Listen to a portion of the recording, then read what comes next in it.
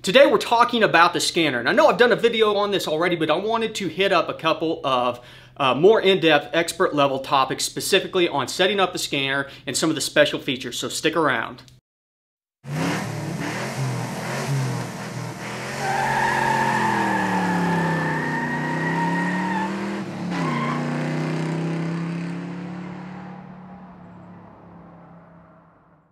Hey everybody, welcome back to the garage and uh, I want to start off by thanking all the new subscribers. The floodgates are open. If you haven't hit the subscribe button already, hit it. You don't want to miss out on all of this data. It's coming fast, it's coming hard, it's good information to have, especially if you're wanting to learn how to tune, if you're wanting to bust, you know, brush the cobwebs off and get better at tuning. The information is getting out there. People are using this and having great results. So don't miss out on it. And there's also some other cool stuff like the Super Auto, which is a smoke monster still right now, but we've got to fix in the works. And so here in a couple days, that thing will be back out on the road. So stick around. But for now, we are talking about the scanner. I've got it opened up here. Uh, you should be able to see the big things that we're looking at right now is the PID list. We touched on this in the past. I'll throw a link up in the corner for the original scanner kind of setup. But I want to go a little bit more in depth on the PID list. We set that PID list up before we do any logging. You know, we connect to the vehicle, it gets the parameters that are available for the vehicle to let us know, hey, these are the parameters that you can choose from to set up to log this vehicle. Now, you gotta fight the urge to go out and add too many PIDs. Right now, this list probably has too many PIDs. This is a great list for going around and checking the health of a vehicle. But when you're actually tuning specific things, you want to minimize the different PIDs that you're using. And there's a reason for that. So if you think about the way that data is transferred from the ECU through the uh, the uh, HP Tuners module or the EFI Live module to the computer, you have a message link that is trying to cram all this data in. And it can do all this much data within a certain time period. Well, if each block, each PID takes up this much space and you keep on adding, once you exceed that message link, then you have to have two messages. So it takes twice as long to transfer the data. If you exceed that one, then it takes three times as long to transfer the data. So the idea behind that is, is the least amount of data that we are transmitting from the vehicle to the software they should have the highest resolution data points. We should be updating the data as fast as possible. And if you load out your scanner PID list, you will start to get slow data, and that's not the best way to tune. So if you're tuning your MAF curve or something like that, get rid of most of the PIDs that you use for speed density tuning. If you're doing speed density tuning, we're not concerned about what the MAF hertz is at that point in time because we're not, you know, doing any tuning that surrounds that. So a lot of that stuff, you know, the torque parameters, we don't need to tune that whenever we're doing fueling tuning.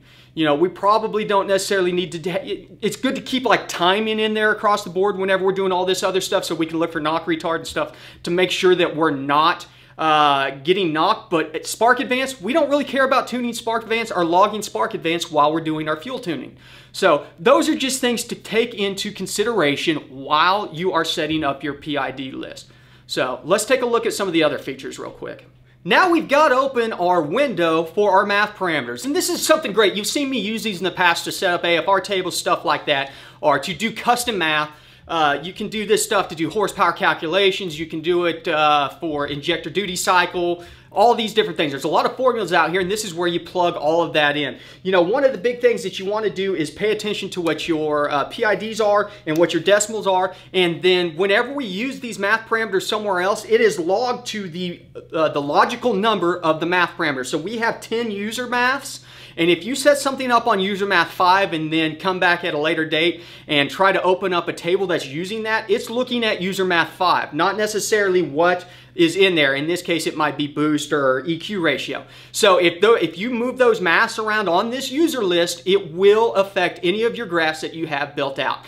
The other cool thing about it is, is with the math parameters, we can come down to the chart down at the bottom and add math parameters in here. So if you right click on that and to open up your charts layout, you can see that this boost one is using math user and it's basically manifold pressure minus barometric to say that once we get over barometric pressure, we are in boost. Uh, But the cool thing about that is if you're logging barometric pressure and manifold pressure from the get-go, from the onset, you can come back after the fact, plug this math into your graph at the bottom, and actually see the results of that math on a log that you've already done. As I said, we are using those PID blocks, we are filling those PID blocks with log data, and then we are doing post-processing basically as a representation on the histograms and the graphs that we see below. Okay, let's talk about filtering. Now that we've got some data loaded up, I've got a data log over in the corner. I'm not sure when it's from, but I've got my Spark Advanced table in here. And say I only want to see what Spark is being advanced whenever I am not giving it any throttle. So what we would then do is look at the accelerator pedal position and apply a filter to that. Let's go ahead and open up the graph settings on this so we can do the filter. So now you can see that we have this opened up for Spark Advanced. There's the filter box over there. What we want to do is add a new variable. And that new variable is going to be our existing accelerator pedal position that we have already been logging.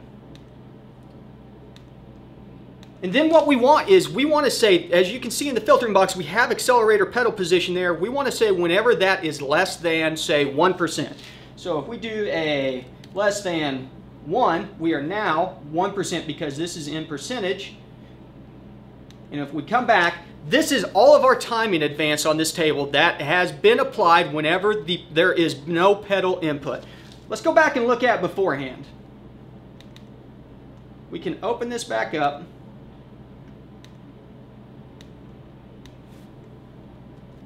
Take that out. And there's our full spark table. Now let's say, well, what if we want to see how much advance that we had only under full throttle?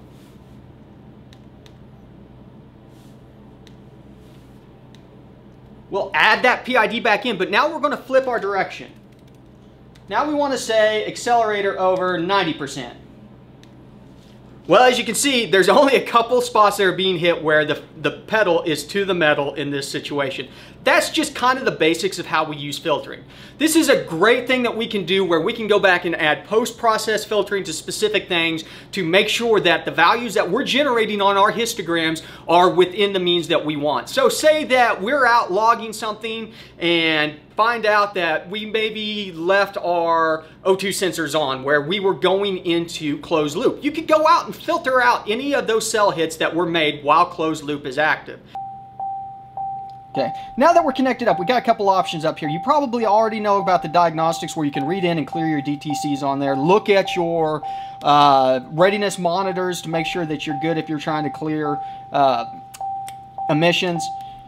Freeze frames, I mean, not really anything that we use that often. This just kind of grabs a uh, snapshot of all of your current um, parameter readings in there. So I don't ever use freeze frames. I'm sure there's a reason to use it. It's just not something I've ever seen the need because once you have the log or you have the ability to do logs, freeze frames are kind of an antiquated way of approaching things. But the other thing we want to look at is the vehicle controls and special functions menu.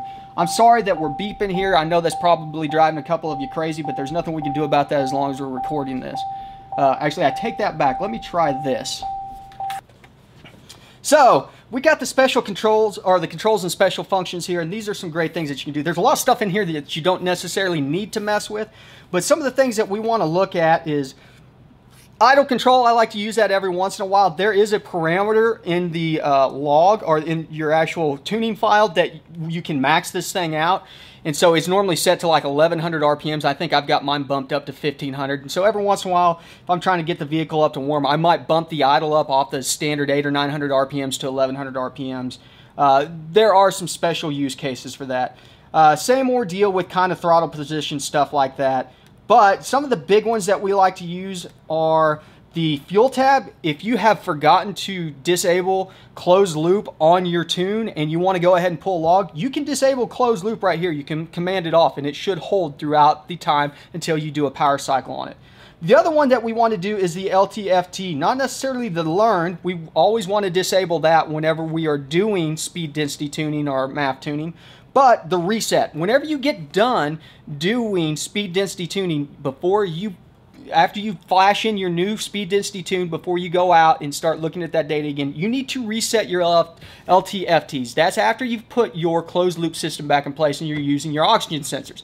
The reasoning behind that is, is that there is a map out there that we don't have access to that has fuel adjustment uh, cells on it that is based off of the switching of your O2 sensors. And if you go out and do speed density tuning and then re-enable closed loop without resetting this, as soon as you go out and drive, your scaling is going to be off. Your fueling is going to be off and you're going to be like, what the hell? I just went through this process of doing speed density. Why are all these numbers wonky again? That's because you did not reset the LTFTs through the scanner whenever you do transmission changes, transmission tuning, a lot of times you'll see people say that you need to go out and do a, a trans fast learn or a reset. Uh, you got to be aware that there's some of these that if you go in and, and, we'll touch on this later in some of the transmission tuning, if you go through it, there's a specific PID that you have to log that will tell you to go through a shift pattern.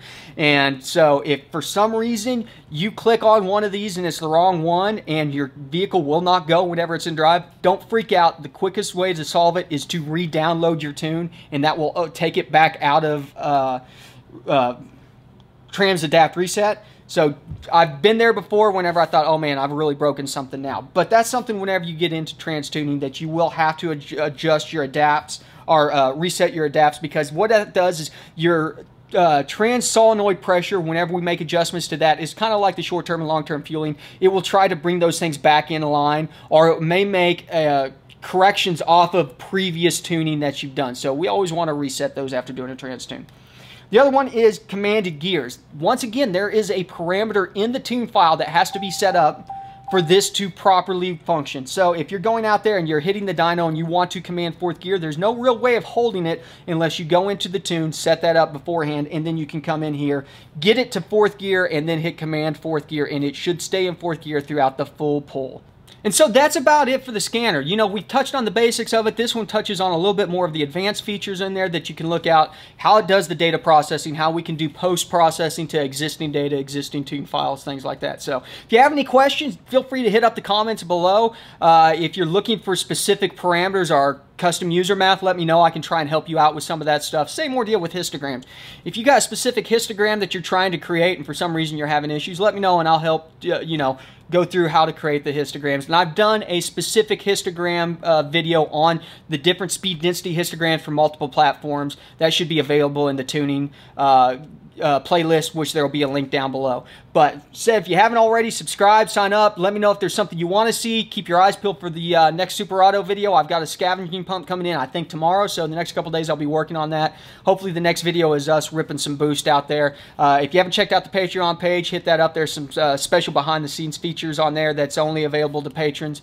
And uh, as always, thanks for stopping by the garage. Now let's see if I can get out of here without knocking my camera over. Uh...